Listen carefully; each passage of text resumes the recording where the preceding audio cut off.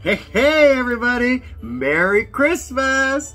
Itaewon Sammy, King of Gangnam, Gangnam Sammy, coming to you with these special holiday greetings to you, everyone. Uh, Merry Christmas, Happy Hanukkah, Happy Holidays, whatever it is you do. Uh, it is Christmas time in Korea. What does that mean? We're going to talk today about what is it like to celebrate Christmas in Korea. Happy holidays, everyone. All right. Uh, let's get right into it. Uh, it is my birthday. Christmas Day is my birthday. This video is coming up the next day on the 26th of December, 2021. I don't even remember what year it is. It's been such a long year with COVID and everything. Finally coming to an end. Um, I got another video coming up later this month about my retirement plans. Uh, 75 days left. This was my last Christmas in Korea, uh, kind of muted because of the COVID rules, but we're going to talk about that. We're just going to talk about what do Koreans do at Christmas? Is it a holiday? First of all, I want to thank everyone out there who is watching, subscribing, liking, commenting. I am seeing an upswing of people, of new friends, of uh, new subscribers, and I'm really appreciative of everyone who does like and subscribe and share. Please help me get my channel out there. If you can just click the like button, I would really, really appreciate it. Think of it as a birthday present, Christmas present for me. Thank you. Anyway, Korean Christmas. Wow. It is a very strange creature. For us in North America, Christmas is a huge, huge holiday. Only Thanksgiving and Mother's Day are, are bigger. Uh, Christmas is more of a gift-giving kind of holiday in the West. Office parties, family parties, friend parties, that kind of thing. Uh, especially those who have children. There is the Christmas moving to family to family to family, especially if you're married. You got the wife's family and you got the husband's family. It's huge. Um, and the shopping. It's just, it starts right after Thanksgiving um, or Halloween. It's two months of shopping, and it's one of the biggest retail uh, events in the West. They set their financial goals based on it. In Korea, it's 50 50. From a corporate retail side, yes, it's huge for them too from a personal family side, not so much. Christmas is not a huge family holiday for the Korean people. Office workers, they they do have the they have what's they have a holiday celebration.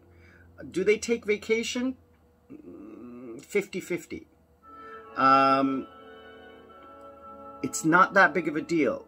Yesterday was more of a couple's day couples go out and celebrate because it's time away from their family and work. Families don't really celebrate Christmas. Today's young children, yes, they they get into that Santa's coming to bring me present type thing. But your average person, older, you know, post university, not really. They don't go to see the family. They don't go to Christmas events or anything like that. If you've got children, yes, obviously. But if you're 26, working, you don't go home.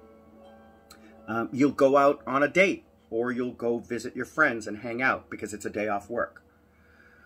Um, and here's the other thing is, is that Christmas fell on a Saturday this year. Monday is not a holiday. We don't do that here in Korea. We don't move the Christmas holiday to Monday to give a day off. If it's Saturday, that's your day off. If it's Monday, that's your day off. You do get Christmas as a day off, but if it falls on Saturday, no. Um, not a lot of things were closed though. Shopping, everything, except for offices. Obviously, well, it was a Saturday. But I have found that um, uh, uh, uh, um, most places are open on Christmas Day. There, there's less crowded, again, because when I went out last night, it was predominantly foreigners while I was in Itaewon because I knew that if I went to uh, Gangnam, it would be nobody because or it would be all couples. And the people that I invited to meet up with were all in Itaewon, so me and my friends just hung out and had fun time. Um, yeah, it was great, but it's muted. Um, and the, the the very funny thing is is that just like in Japan, it, I found this strange because I spent Christmas one year in Japan, and KFC is huge. To buy KFC on Christmas is a huge deal. They have lineups. KFC, Kentucky Fried Chicken, lineups out the door. I'm not talking 10, 20 people, hundreds of people. And they have preset boxes set up outside so people can come and just grab it, pay their money, and walk away. Huge lineups for this chicken. It's not that bad in Korea, but they still have that set, buy the, the set and go home and enjoy. Not just KFC, but all of the chicken places try to cash in on that. But KFC is huge. It's very funny for me to see being, you know, from Canada, even here after 13 years. But those are the unique, strange things that go on here. Um, today as well is a Sunday, so you will find couples out going ice skating, going walking, going to see the Christmas lights at the different places. There is a Christmas tree um, uh, set up in the city hall, at the shopping mall. One of the big uh, malls up by Seoul Station, Shinsegae, has a huge light display. Uh, Cheonggyecheon has all its lights lit up, uh, but it is muted, trying to be less to uh, avoid uh, social gatherings due to COVID. But it's still there. Um, just to touch on the COVID thing, it's uh, everything closes at 9 p.m. Private gatherings are limited to four people, vaccinated or not.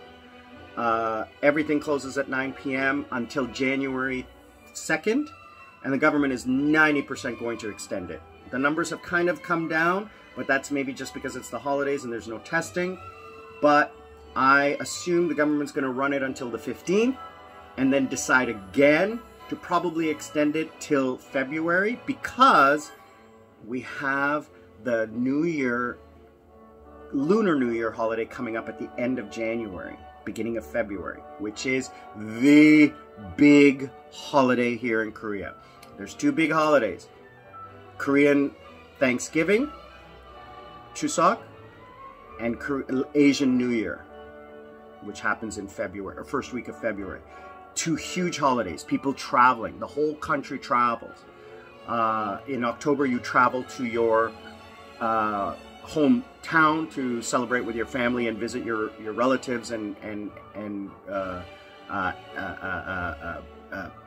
ancestors, your your past ancestors' graves, which is usually in your hometown. So travel is huge.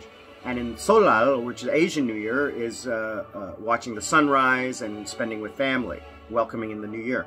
It also happens on December 31st. A lot of people will go to the uh, East Coast to watch the sunrise and welcome in the new year. It's very um, symbolic. A lot of my Korean friends have invited me to go.